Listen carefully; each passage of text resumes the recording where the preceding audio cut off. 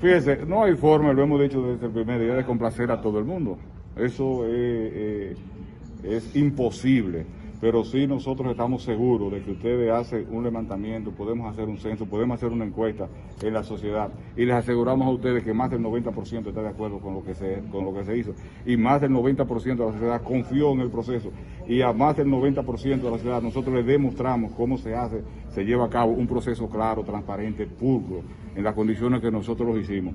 ¿Y cómo puede decir que eh, nosotros perdimos el tiempo si los 30 que fueron colocados en las ternas fueron los 30 eh, calificados con las mejores calificaciones del trabajo, fruto del trabajo que hicimos nosotros como comisión?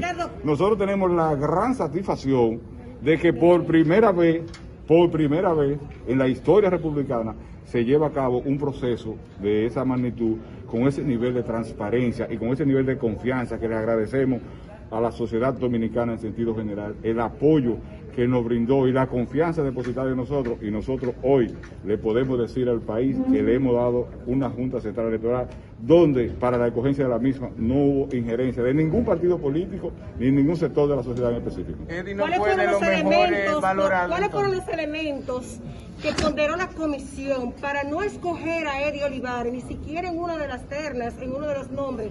¿Qué no tenía Eddie que no podía figurar en Muy sencillo, se lo puedo explicar bien fácil, con la responsabilidad que nos caracteriza.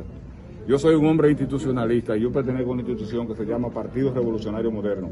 La Comisión Ejecutiva del Partido Revolucionario Moderno determinó que Eddie Olivares no debería ser miembro de la Junta por la vinculación política con el partido. Eso fue una determinación de la comisión ejecutiva del partido. Y yo tengo que respetar eso. Ahora, yo no le podía prohibir de que participara en lo que es eh, eh, su ponencia, lo que es su participación, porque eso está, eso está contemplado y está establecido en la Constitución de la República de 1519. Pero ya con un mandato de la Comisión Ejecutiva del partido y nosotros sabiendo de la capacidad que tiene el compañero Eddie Olivares, que no es segundo de nadie en términos electoral, el término de registro civil y de cedulación en este país, Eddie Olivares no es segundo de nadie. Era un irrespeto de nosotros colocar a Eddie Olivares en una terna, no sabíamos que no se iba a ser elegido. Y nosotros, por respeto a su capacidad, a su trabajo, a su entrega, a, su dedicación, nosotros decidimos mejor dejarlo excluido, ya que no había forma de que él fuera escogido, porque fue una decisión